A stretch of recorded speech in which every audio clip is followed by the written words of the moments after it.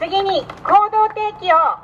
したいと思います。救助を壊すなの竹越秀樹さんお願いします。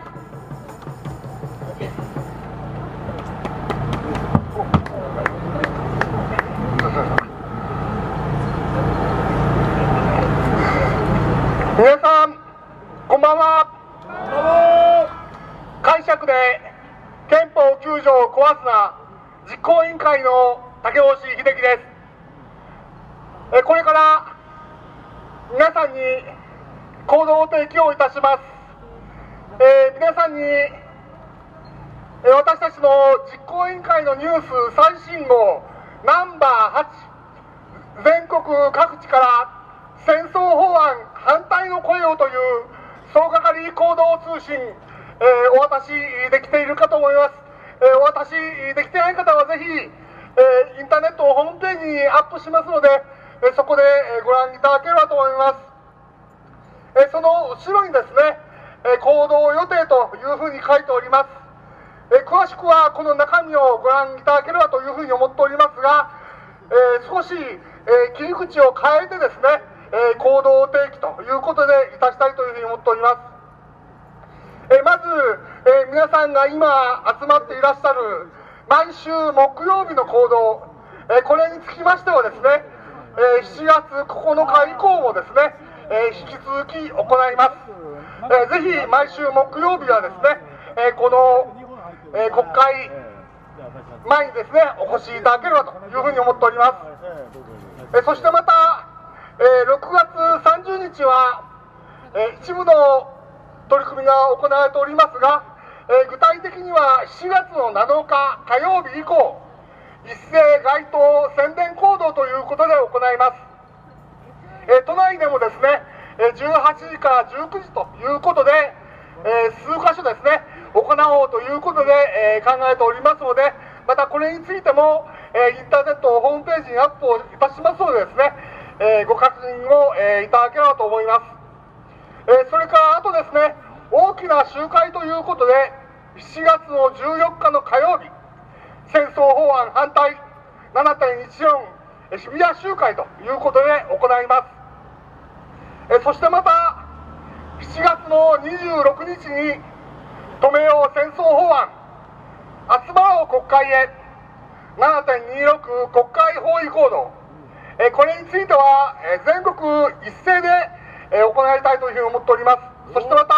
7月の28日には、えー18時30分からですね、戦争法案反対7.28日比谷集会ということで行います。連続しての行動となりますが、えーぜひご参加をいただければと思います。また、今、7月の15日に衆議院でこの戦争法案が強行採決されるという報道もされております。これに対しましては、今申しましたスケジュールに加えて、7月の9日、10日、そして7月の14日、15日、そういうスケジュールで座り込みの行動など、さまざまな行動をえ提供いいたしていきたいというふうに思っております。えこれにつきましては、国会の情勢ということを見極めながら、さまざまな行動を今後、提供いたしたいというふうに思っておりますので、7月、梅雨であったり、暑かったり、大変な時期ではありますが、ぜひさまざまな行動をご結集いただければと思います。以上、行動の提起といたします。ありがとうございました。頑張りましょう。頑張りましょうそれではここでも最後の行動をします大きな声でやりましょうはい、えー、それではまた国会へ向けてですね、えー、大きなコールを上げていきたいと思います。戦争法案絶対反対。戦争法案絶対反対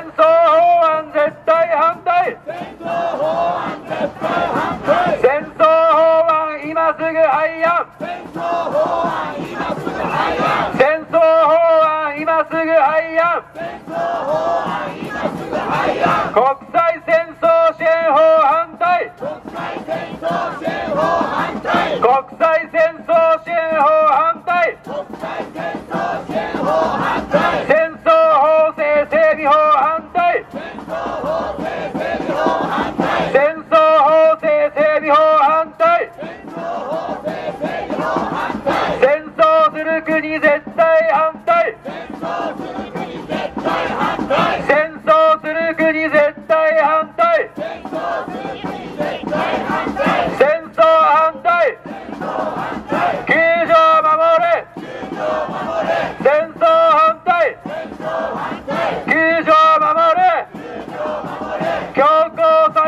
絶対反